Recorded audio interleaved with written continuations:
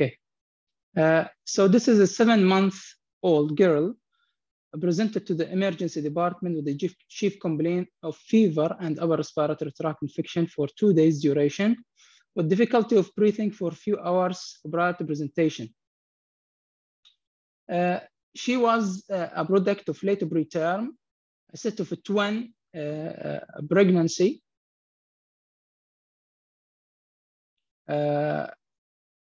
Uh, yeah, she was admitted to, uh, to the NICU uh, as a case of RDS, and she received one dose of Survanta at birth. she was kept on invasive mechanical ventilation for one day and then an IV for two weeks. Uh, she was uh, well till two days prior to presentation when she present when she when the mother noticed her to have subjective fever responding to antibiotic, followed by progressive productive, productive cough uh, throughout the day, uh, associated with an increase of breathing, with decreased activity and snoring and interrupted feeding. Uh, she has uh, contact with the COVID patient, her father. regarding the important negative, uh, she did not have any apnea, choking, or facial congestion. She did not have any recurrent upper respiratory infection, witnessed foreign body. Uh, she did not have any contact with TB patient, uh, no uh, delayed passage of meconium. Okay, uh, regarding the neonatal, neonatal history, as mentioned, developmental history, she has minimal gross motor delay. She did not able to sit or roll over. Uh, otherwise, other history unremarkable. She get vaccine uh, of fourth month according to the MOH protocol. Uh, upon, upon presentation to the ER, uh, she was uh, generally uh, conscious and looked sick, respiratory distress, her vitals, she was tachycardic, tachypneic, maintaining her blood pressure and saturation on room air. Uh, she had uh, on and off grunting with unequal uh, chest ex expansion with decreased air entry on right side by auscultation. Other system examination was unremarkable. Okay.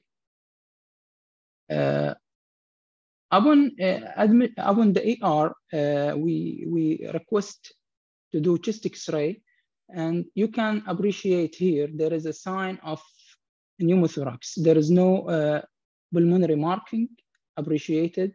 And also here you can appreciate a, a collapsed lung and this is a, a, a, part of the thymus. For, for, for that reason, uh, we uh, insert the chest tube in the ER.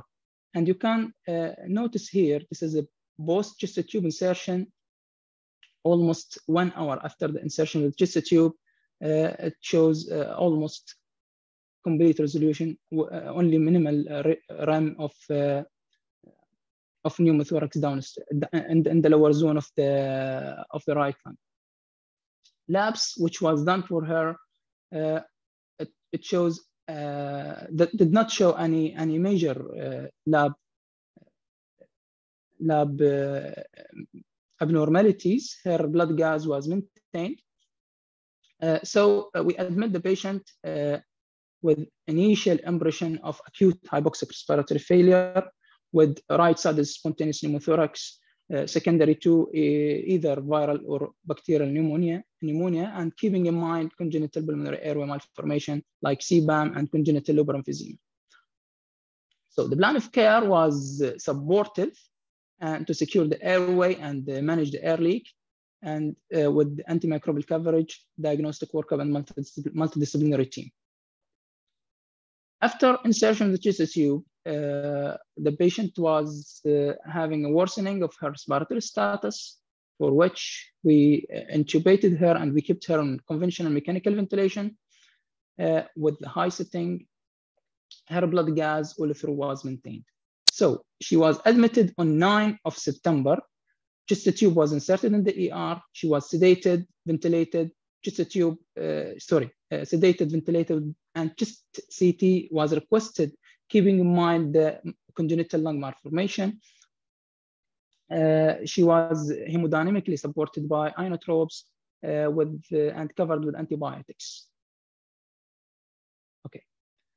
Uh, on the third day of admission, she developed the signs of uh, ARDS in form of worsening of her oxygenation, despite of high setting of uh, high FiO2 and uh, high PEEP of conventional mechanical ventilation.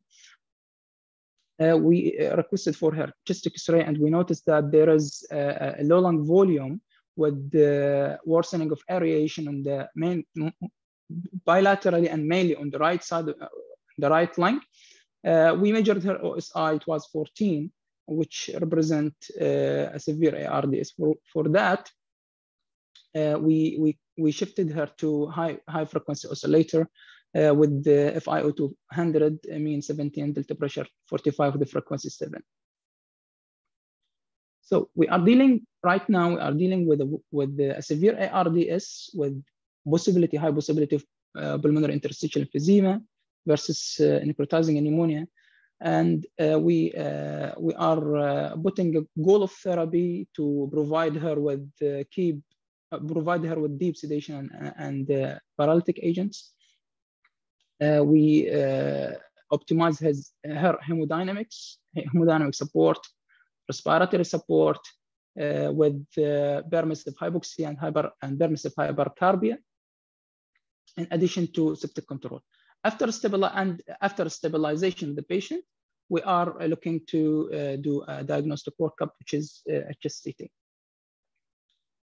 Again, multidisciplinary team, the core of the team was the PICU, and uh, we uh, we involved the pulmonologist, BD surgeon, uh, ID, and cardiologist.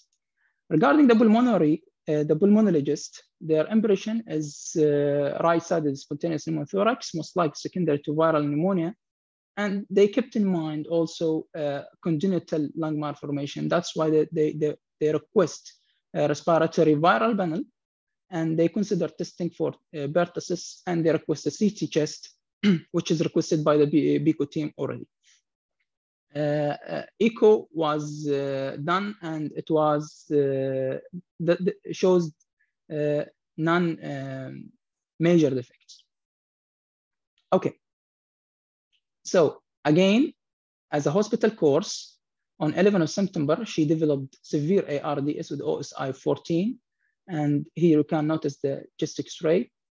Uh, at that moment, we shift, we shift the patient to high frequency oscillator and we kept in mind uh, the ECMO. Uh, we discussed it with the head of the of the ECMO in the Riyadh. And uh, unfortunately, yeah, you know, uh, there is a limitation for us for this patient, specifically the weight. She did not meet the criteria of ECMO. Okay. After three days, uh, the patient was improved on oscillator. Her OSI uh, reduced to seven.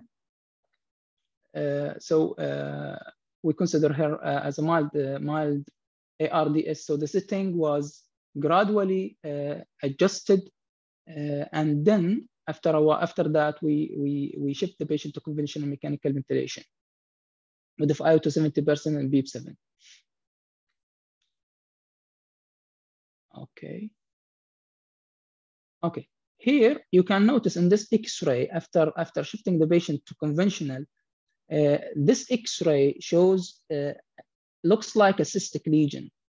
This increased the possibility for us. I mean, uh, when we notice this X-ray, and increase the possibility of uh, cystic uh, malformation of the lung, we request the CT, and you can notice here, uh, here we a, a multi multi cyst with walled unlined uh, cyst uh, in the upper and in the middle and the lower zone of the of the right lung. Uh, also here you can notice uh, a sign of uh, PIE aligned with a dot and the lucency around the pulmonary uh, pulmonary artery.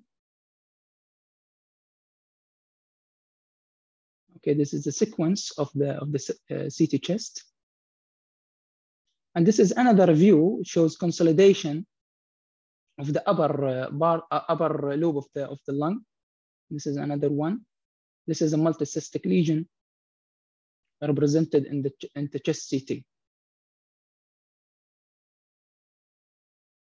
So after the CT, the impression was uh, severe necrotizing pneumonia with possibility of underlying congenital cystic lesion for follow-up and uh, for, for, for follow-up. Yes. So again, the impression is acute hypoxic respiratory failure with uh, right-sided spontaneous pneumothorax, most likely secondary to severe necrotizing pneumonia and uh, other uh, congenital malformation to be rolled out. Uh, with severe necrotizing pneumonia for the first presentation for this patient, this ra raised the possibility of primary immune deficiency. So we, we uh, asked the, for immunology uh, consultation and they request uh, lymphocyte subset and uh, the others. We uh, discovered that the, there is severe reduction in CD3 and na natural, natural killers uh, which uh, going with primary immune deficiency uh, with high possibility of SCID. So the patient was started in IVIG and the prophylactic antibiotics. Okay, again, on 15th of September, the patient was started in OGT feed. The patient was already on, on the TPN previously. Uh, she developed a clinical sepsis, and we know this patient is uh, immune deficient, so we uh, we deal with the patient uh, seriously and we uh, upgraded the antibiotics. Uh, at 19th of September, we weaned the sedation gradually and we prepared the patient for extubation. Inotropes was stopped, mechanical ventilatory setting was weaned and shifted to uh, pressure support, uh, CPAP with pressure support. On 20, uh, 22 of September, the patient was extubated to high flow nasal cannula uh, Uh, then uh, subsequently, uh, the high flow nasal cannula was stopped and the patient was discharged on, uh, on 30th of uh, September with OPD follow-up. And this is the X-ray post-extubation. it shows most of the cystic lesion which, which was noticed previously, it was not clear right now in this X-ray. Again, the duration of uh, hospitalization, uh, I mean, the uh, ventilation, it was 18 days. Uh, she was uh, on conventional mechanical ventilation for two days. Then the patient developed severe ARDS. So they shifted to high frequency for three days. After that, uh, she she she get resolving of ARDS, shifted to conventional mechanical ventilation and kept for eight days. Uh, after that, uh, the patient was extubated to high flow and uh, on high flow kept for five days. Okay. Uh, we reviewed the literature and we, we found that uh, some studies talking about the persistent pulmonary air leak in pediatric intensive care unit. Uh, this study was published on 2022. this is this study was uh, done in uh, Department of Pediatric uh, Children Medical Center, Israel. this is a retrospective cohort study of all PICU admitted children uh, aged 0 to 18 years diagnosed with pneumothorax complicated by persistent air leak between January 2005 and February 2020. Uh, it was conducted at the tertiary center. So the aim of the of this study uh, to describe the etiology, clinical characteristic, management strategies, prognost prognostic factors, and outcome of all cause uh, persistent air leak in children hospitalized in the ICU. Uh, they reviewed the chart of 788 patient who uh, has pneumothorax admitted to their PICU, and they found 38 patient 38 patients out of uh, 788 who has persistent air leak more than 48 hours. They exclude two and they remain with 36 patients. The most common cause of persistent air leak uh, in those patients is bacterial pneumonia, which represents 56%. And uh, the others is acute uh, respiratory distress represent for 31%. Uh, both surgical uh, represent 11% and spontaneous pneumothorax 3%. Uh, they uh, describe the general outline of uh, ventilator ma management. Uh, yeah, they, they mention try to wean the patient from positive pressure ventilation as soon as possible and use minimal inspiratory time, avoid high peak inspiratory pressure, and set the avoid high peak of uh, inspiratory pressure uh, set the ventilatory rate at lowest uh, level tolerated and expiratory tidal volume is limited to 6 to 8 ml per kg. And they mention also when the conventional mechanical ventilation fails, you can use the high frequency oscillators. Uh, they, uh, the, the outcome, uh, the mortality and bilateral air leak are common among the ARDS patient. Uh, the mechanical ventilation also uh, most all ARDS patients uh, are ventilated. also, the high frequency oscillators was applied for ARDS patient rather than the non-ARDS patient was zero. Um, here uh, in this chart, you can notice the, the air leak duration, the persistent air leak duration was longer longer was prolonged when I mean longer when compared to non-ARDS causes. Uh, as a conclusion of this study, the persistent air leak secondary to ARDS associated with long air leak duration and mortality. Uh, the other etiologies like bacterial pneumonia was associated with favorable outcome, commonly resolving with conservative management. Uh, they uh, recommend for further study uh, as needed to compare different management strategies and persistent, persistent air leak addressing etiology sub subgroups. This is another study. This is uh, uh, a case report for uh, adult who's 30 years old, a case of trauma with, with bilateral pneumothorax secondary to chest trauma.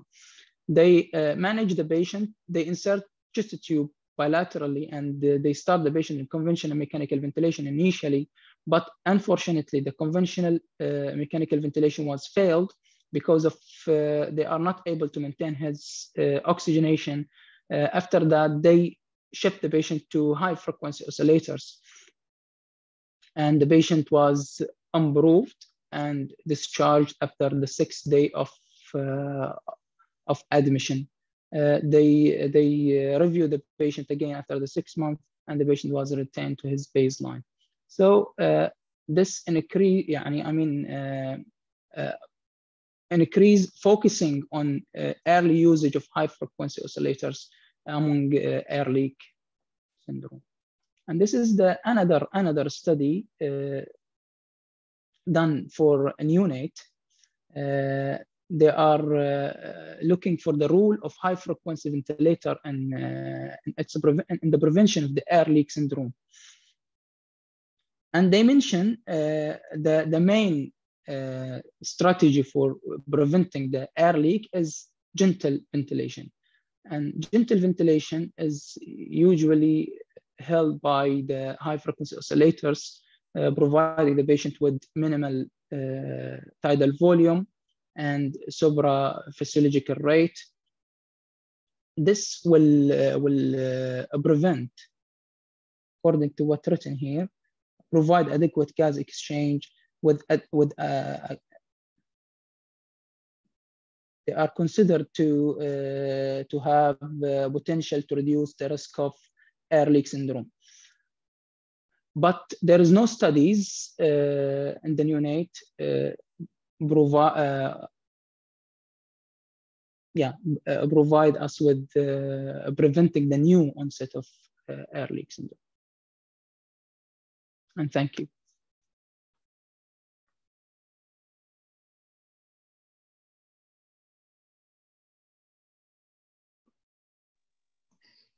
Thank you very much, Dr. Mohammed, for your presentation um, would like to thank the audience and the um, Dr. Aida and the organizer all for this opportunity and for opening the mic for question and discussions.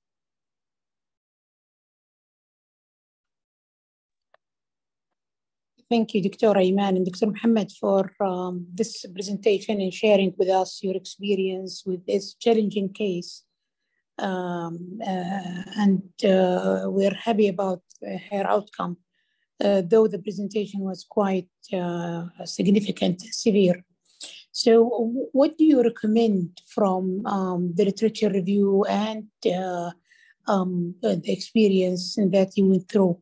Um, when you have the patients with air leak syndrome, so how you stratify them and uh, um, which way you will go with in regards to the mechanical ventilation, conventional versus high frequency.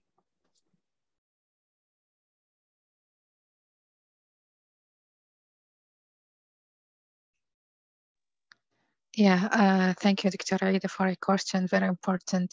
Uh, and Dr. Mohammed, you can uh, share with me the answer. Uh, basically, uh, um, uh, regarding this case, it was more challenging, complicated than the summary of this presentation. As her initial presentation, she came with spontaneous pneumothorax, which was developed a few hours prior to the presentation, based on the description of the mother, after which she was mainly dealt by the emergency team and chest tube inserted by the surgery, and they were dealing like she's fine and uh, uh, oxygenation maintained and gas was gas exchange was maintained and the questioning uh, uh is she a floor patient or ICU patient. But subsequently when she declined herself uh, downstairs in the emergency uh, she was a real candidate for ICU admission. And the, the subsequent deterioration and ventilation situation came up afterwards uh, after a few hours from the presentation. Uh, in regard of our practice and the uh, literature review, uh, from at least from my uh, humbled experience, that I'm unfavorable of uh, high frequency early administration of high frequency for those patients with signs of air leak, whether persistent or controlled, as a gentle mode of ventilation to maintain adequate gas exchange and decreasing the the I mean emphasizing on the lung protective strategies, permissive hypercapnia, permissive hypoxia, and uh, avoidance of barotrauma, volutrauma that might be provided. Again, the literature is not uh, totally conclusive regarding that manner. It, it's according to the uh, convenience and experience of the intensivist in charge. But uh, from our practice or uh, from uh, my point of view and regarding of that matter, high frequency is very favorable out, uh, uh, modality of uh, of choice regarding the ventilation of air leak, especially if it is used early. Uh, so, uh, and this patient, what was uh, the main major problem for her was not the gas exchange at all. Her ventilation was maintained all through, only the oxygenation issue that she uh, uh, sustained persistent hypoxia, regardless of the FI2 requirement on the conventional. Uh, and the oscillator fixed that issue. And uh, regarding her monitoring of OSI, the uh, VBD and the um, uh, CO2 detector with the oscillator was more convenient to, to deal with and to, to monitor her um, uh, situation. Uh, luckily, she got out of that uh, ARDS and uh, uh, she ended up with um, um a reasonable outcome. Thank you again for your presentation and we can hear from the audience regarding their uh, experience and their point of uh, view.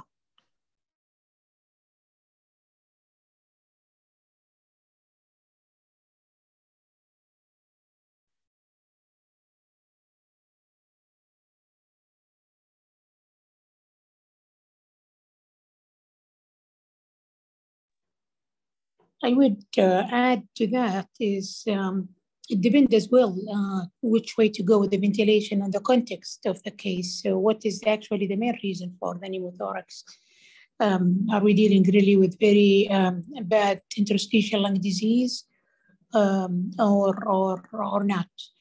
Uh, so, as you mentioned, that uh, patients with ARDS, they were having higher um, uh, risk for pneumothorax and uh, higher uh, morbidities and uh, definitely high frequency is the way to go with them. Uh, gentle ventilation and that may work with the air leak syndrome.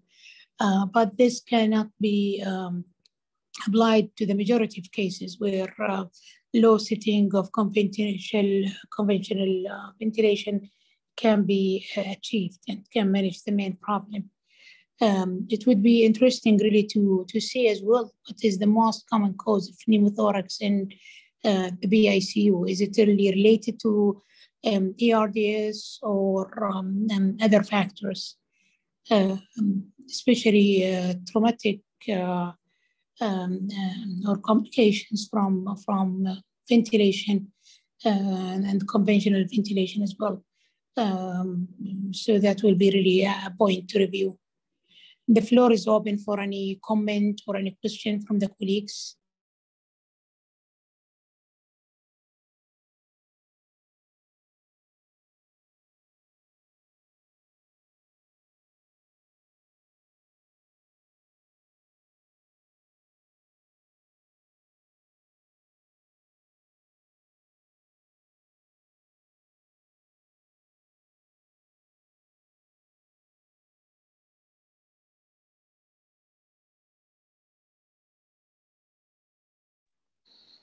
Uh, I think uh, we need to un unmute the uh, participant who wants to participate. Um, uh,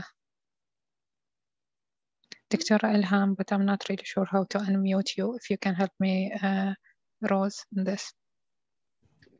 They can uh, unmute themselves, Doctora. Thank you. Yeah, Thank Dr. you very Ilham, much go for, ahead. Thank you very much for the for the presentation and great job on, on the on the patient also and great outcome. I uh, just wanted to ask um, the uh, regarding uh, two things. First, on the conventional ventilations, what were your maximum settings uh, reach? And secondly, at the general question, do you think high frequency oscillatory ventilation and high frequency jet are sort of created the same for air leak? I don't have a, a experience with jet ventilation, but isn't jet ventilation a bit different and better for, for uh, like interstitial emphysema than high frequency oscillatory ventilation? And um, would the map make a difference? Like also, I think in the presentation, if I paid attention, the map was 17. Do you think if you are needed higher map, like in the 20s and more, you would end up with worse air leak and not better air leak? Yeah. And my, th my third issue is the ECMO thing. Uh, how do you transport patients to, to Riyadh on uh, the ECMO requirement? Because the transport here would be the biggest issue unless you can transport an ECMO. Thank you. Medyo bigat ako, te. Okay. Thank you, Dr. Ilham, for your questions. Starting with the question regarding the uh, maximum settings, the patient required, he required a MAP of almost 27, and the plateau pressure was fluctuating, reaching up 29 to 30. And uh, um, as you mentioned, the, the vicious cycle of increasing MAP and causing more air leak, or uh, uh, settling down with the MAP and controlling the air leak, that was the major issue, the major uh, challenge to to do uh, to take at that point of time. Regarding the high frequency jet or uh, the oscillator, our experience and our availability of the oscillators only, uh, I have been dealt with the jet in a in a in a workshop only, and uh, I have seen um, uh, seen uh, lectures about it, but I didn't use it on a real patient myself. the available one that we have is the um, SensorMedics um, oscillator only. for for the ECMO issue, maybe uh, Dr. Mohammed skipped the details of that discussion. When the patient declined herself before shifting to the um, oscillator and she was not on inotrope back then i had uh, a phone call with the uh, colleagues in king fahd medical city uh, uh regarding the ecmo. Is she a candidate? Is she uh, ever uh, um, transferable? Before declining further before she becoming critically sick and uh, and uh, cannot be moved. Uh, is she a real candidate for that? And the discussion um, she was not a candidate for many reasons. Number one the weight. Her weight was below 10 kg and their cutoff limit was 10 kg. This is one thing. The other thing they do request a clear uh, immunodeficiency background and we raised the suspicion of immunodeficiency because uh, she had that severe um, uh, uh severe illness as a first time presentation. So uh, her immunodeficiency workup was pending at that time. Additionally regarding the neurological status one of the requirement or eligibility of ECMO to have normal neurological status confirmed. This patient has delayed compared to her twin. Her twin was advanced in a gross motor uh, socialization and all. So she was a bit delayed, not much, but we're not really sure about her neurological status, immunodeficiency status, and uh, she was at the edge of declining. So uh, that discussion was basically if we are out of options before we run into the critical zone where we where patients cannot be transferred is she a candidate or not and she was not eligible to start with i hope i answered your question thank you very much again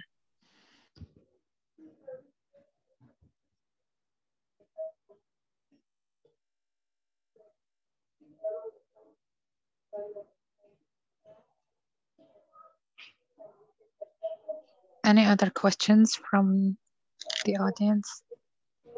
Is uh, any patient suffer from severe chest injury caused by air leak ventilator? Uh, is it uh, the effect with him is reversible or irreversible? Thank you. Uh, thank you very much for the question. I didn't get it. Uh, if I'm getting you correct, you mean uh, if, if the ARDS is reversible or not. I did yes. not get it that much. But yeah, because the cause was infection, basically. Her cause of ARDS was um, infection, uh, mm -hmm. control of sepsis, control of infection, and treatment of uh, chest infection by um, uh, high-gun antibiotics, ventilation strategies, all of this uh, contributed to the uh, resolution of the ARDS and subsequent resolution of the air leak. Uh, again, the patient did not have persistent air leak as per definition, but she has a spontaneous uh, pneumothorax that it took a while to uh, to to resolve uh, by the intervention. I mean. Right. Thank you, doctor. second, what's what is the first line antibiotic that you was given with the patient for fast recovery? patient was uh, on uh, third generation cephalosporin. She was on ceftriaxone, vancomycin at presentation, subsequently upgraded to meropenem. Uh, antiviral was uh, not available at that. COVID, I mean, was not available at that time, and her PCR came to be negative many times. So antiviral was not added. Uh, her cultures and tracheal swabs did not grow any organism. Mm -hmm. Thank you so Thank much. Thank you very much. Thank you.